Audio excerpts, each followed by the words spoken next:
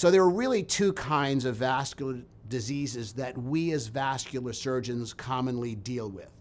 That is, we might deal with venous problems. Well, what kind of things do you get with venous problems? You may get swelling of your legs.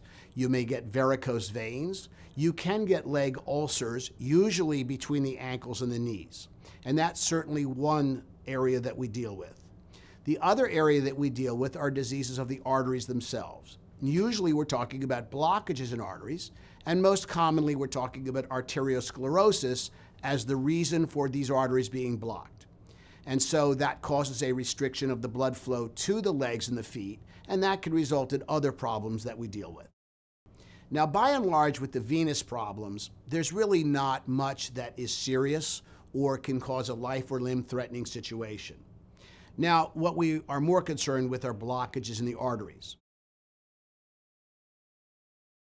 The symptoms you can get fall into two categories with blockages in the arteries going to the, to the legs themselves.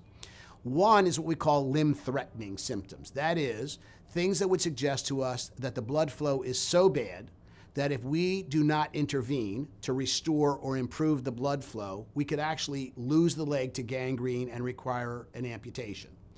Those symptoms are twofold. Number one, rest pain. Rest pain meaning that the blood flow to the lower leg is so bad that the tissues are literally beginning to die and the nerves hurt. It's most commonly seen at night when the legs are elevated because you lose gravity, which is a help to get blood to the feet. And so patients will come in saying, uh, my toes, and usually it's the toes, the farthest point from the heart, will hurt, they'll be cold, and they'll be painful.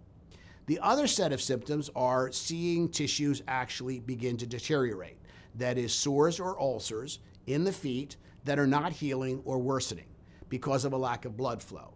And so, if you have a sore or an ulcer on your feet or in your feet, because there's a lack of blood flow, you have to restore the blood flow in order to avoid loss of the limb. Now, the other set of symptoms are what we call claudication. Claudication is a fancy term for it hurts when I walk. Now, there's a lot of things that cause pain when you walk. So it is up to a vascular surgeon to differentiate one source for, for another. Now, the characteristic of claudication, that is pain from a blood flow problem when you walk, is that when you first begin to walk or when you stand, you don't get any pain. It's only after you've begun to walk a ways where the muscles have used up the oxygen and are creating what we call lactic acid because they can't complete the metabolic process, that they begin to hurt. If you've got blockages further up in the abdominal or, or pelvic area, you may also get pain in your thighs or even in your buttocks with walking. So, those are the predominant symptoms if you have blockages in your arteries to your lower extremities.